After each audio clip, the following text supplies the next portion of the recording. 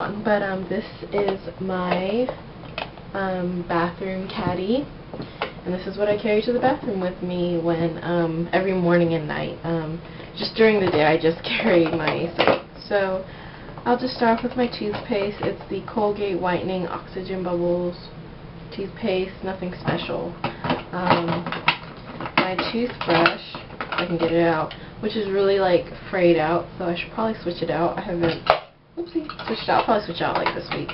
Um, I should have shown you that then. Um, this is my Crest Pro Health Complete Rinse. Um, I don't generally like this one.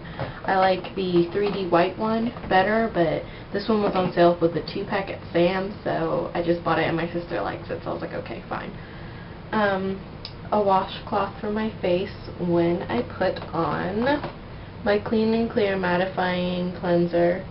Um, I find that this helps a little with um, mattifying, but I feel like the moisturizer is better because if you put it on, you know, you don't have to wash it off, and I feel like it just sinks in better, but the cleanser I feel just lasts for a few hours. Sometimes actually lasts the whole day, but depending on how hot it is, like 70 degrees today, so I have no clue what the weather's going to be like. That is pretty much what's in my day tonight shower caddy.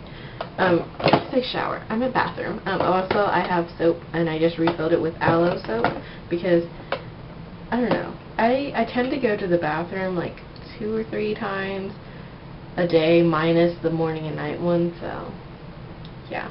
Hopefully that's not irregular. I'm pretty sure that's normal. Um, but yeah, this is what's in here. Um, I got this container at Dollar Tree. Um, you can get different colors. I think they come in blue, green, possibly purple, and maybe white. So just look out for these. They also have a ton of like these kind of containers at Dollar Tree. So if you don't want to spend a whole bunch of money, like even on that, the $4.99. Wait, I, well, I'll link the four. Nah, nah, nah. I'll link the um, video to my shower caddy. So if you don't want to spend that much, or if you're a guy and you don't even need a big shower caddy like the one I show you in this video, you can buy one of these, and these work just fine, but they don't have any holes, so if there's water, it'll probably stay in there. So maybe you can just poke holes in it, and then it'll be okay. Um, but they do actually have, at Dollar Tree, holes. I mean, baskets with holes, so you can just do that. And this, this mouthwash is pretty heavy, so the fact that this can hold it bouncing it around is pretty sturdy. So yeah, um, that's it for this video, and I'll see you guys in the next one. Bye.